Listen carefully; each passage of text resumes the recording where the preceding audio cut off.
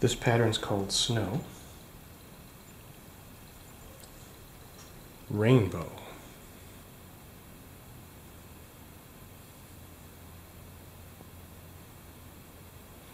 Candy cane. Now you can do things like adjust intensity and speed and things like that.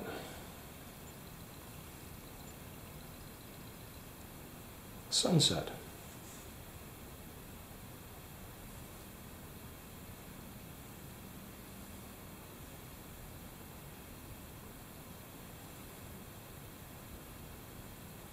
Rainbow stripes.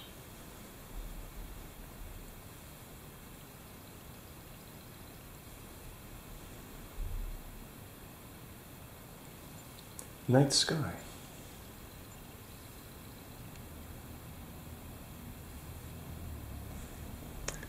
Kind of, you know, pretty and tranquil. I like uh, this blue twinkly one better. What I did is I took night sky, I made it brighter, and speeded up the blinking, and saved it as my own personal favorite. Hi there. My Christmas tree is really old, at least 25 years. The needles are falling off. It's, it's really time to get a new one. And all I really want is one with the lights already built in. Going online, they get expensive fast. I suppose this is where the after Christmas sales uh, come in handy. So this year I finally did it. I waited until after Christmas, about 10 days, went to Walmart, and they had 75% off of all the trees. There weren't many left. None of the boxes I liked. They're either too tall or they were the ugly frosted things.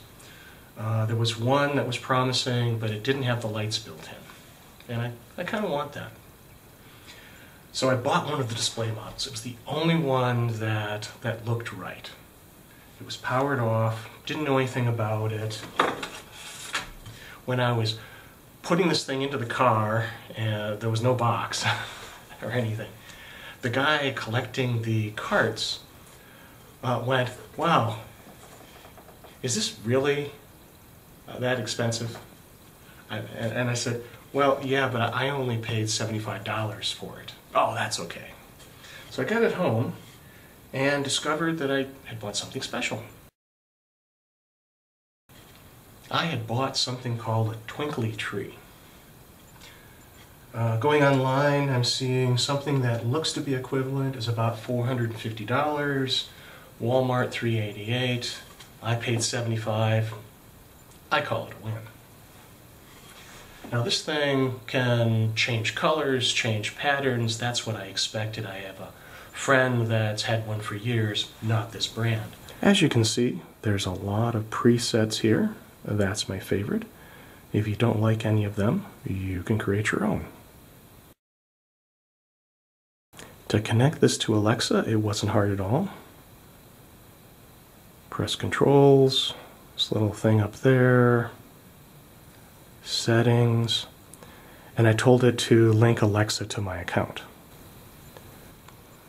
I power on the tree, go to Alexa, devices, and click up here to add a new device.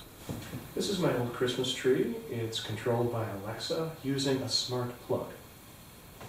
Ziggy, turn on tree. Okay. And the new tree, I don't need a smart plug.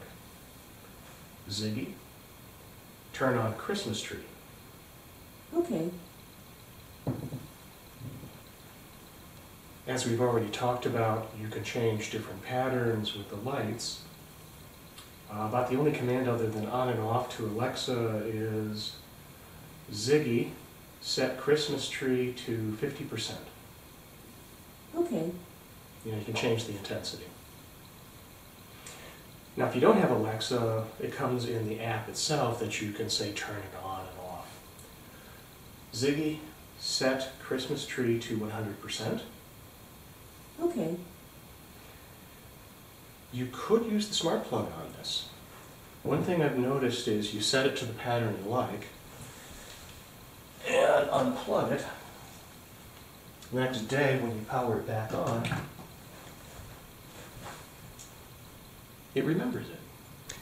Now if I want it to look like my ordinary tree, the pattern carnival is probably a good one to start with. And then I might want to adjust the speed. This is the fastest it'll blink. I can set it to basically don't blink at all. Somewhere in the middle maybe. It's kind of nice. Turn up the intensity. There we go. An extra thing I can do is control these things as a group. Ziggy, turn on living room. Okay.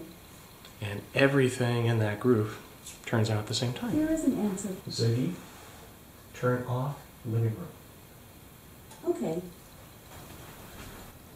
Yeah, I've had so much fun with this tree so far that I'm probably not going to put it away for a little while.